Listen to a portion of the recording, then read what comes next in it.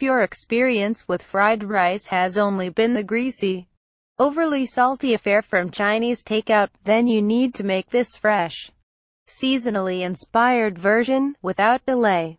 Grace Young's stir-fried rice is light and aromatic. Soy sauce and ginger are used for seasoning, but they're not so heavy that the vegetables get lost. You could eat this dish every day and never get bored. Here's a step-by-step -step guide on how to make quick, easy, and delicious fried rice at a moment's notice. Grace Young calls this recipe lazy man's fried rice.